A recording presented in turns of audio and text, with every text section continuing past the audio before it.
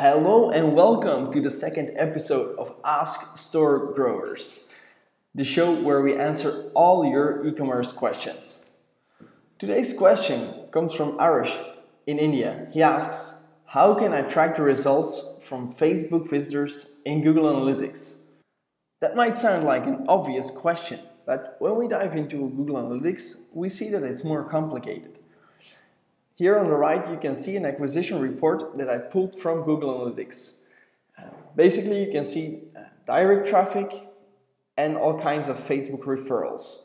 Well, why do I include the direct visitors? Well, we've done research on how Google, how Google Analytics uh, reports uh, visitors from Facebook. And we've seen that they don't just get displayed as referral URLs, as you can see there, but also a big part as direct visitors. So that makes it even harder to know which of those direct visitors actually came from Facebook. And you can also see that there's a couple of different referrals. So which visitors come from where?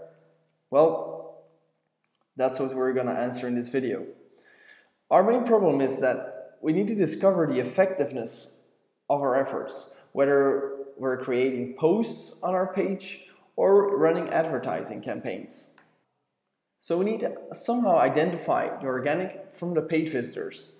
Well, to do that, we take the URL that we would post on Facebook and we add a couple of parameters. They're called UTM parameters and they tell Google Analytics which campaign or which part of which campaign um, they should categorize this under. To do that, there's three main uh, parameters. There's the campaign source, campaign medium, and a campaign name. First, in this case, it's easy. The source, where does the campaign start? Well, it's on Facebook.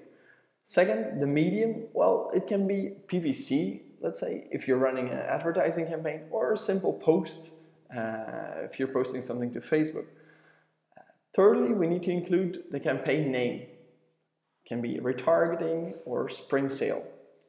Whatever values you choose for these parameters is up to you. But I would suggest to be consistent and pick one set of parameters that you continue to use uh, in a consistent way. So how does this look? Um, if I create a campaign URL for my retargeting campaign, it would look like this. www.healthydays.com question mark and then actually UTM underscore source equals Facebook ampersand and uh, as it follows. How do you create these URLs? Do you have to type them all from scratch? No, luckily there's an easy tool. If you follow the link uh, in the video description, I will, it points to the show notes where I will include a nice tool um, for you to create these URLs. If you're getting familiar with this type of uh, parameters, you can also include more of them. Mainly there's the term, UTM underscore term, and UTM underscore content. This is to track the performance of certain posts you do to Facebook, certain images that you use, um, advertising text that you're um, using. Um, this way you get an even more granular uh, view on your performance. Well, Luckily, this whole process isn't just limited to Facebook. You can use it to track all of your links. Let's say you're running uh, an email campaign, doing something on Twitter, running banner ads uh, on another site. You can use this um, campaign URLs to track the performance from all of your efforts. So that was it for today.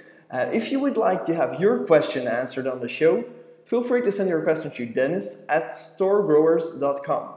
For the show notes, follow the link uh, in the video description or go to storegrowers.com. Thanks a lot and see you next time.